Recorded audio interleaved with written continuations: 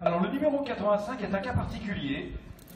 Flavia du Pécos, c'est une Pécos, elle porte le nom qui commence par F, comme tous les Pécos, c'est une fille de Flavia du Pécos, mais, mais, mais, encore mais, elle n'est pas issue de l'origine de famille Fernelia, etc., qu'on connaît bien du Pécos, mais d'une origine de pur sang, d'une origine de pur sang allemande, puisque tout simplement euh, Patrick Davzac avait acheté Eglésia à la mer au vent de Deauville, au vent Arcana, alors qu'elle était pleine de rage saman.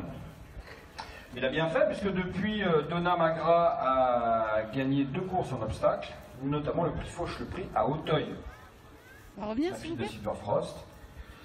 Tandis que le premier produit par Dictat a gagné trois courses. Et surtout, pourquoi il a acheté cette jument-là Parce qu'elle est issue d'une grande souche allemande, celle de Emporio.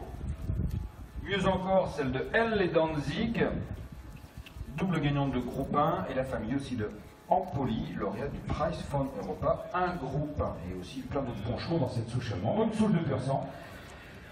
On va envoyer au trot que donc Patrick Davzac, en tant digne éleveur de- d'anglo-arabe, a envoyé un étalon anglo-arabe, en l'occurrence celui qu'il connaît bien, Fairplay du Pécos.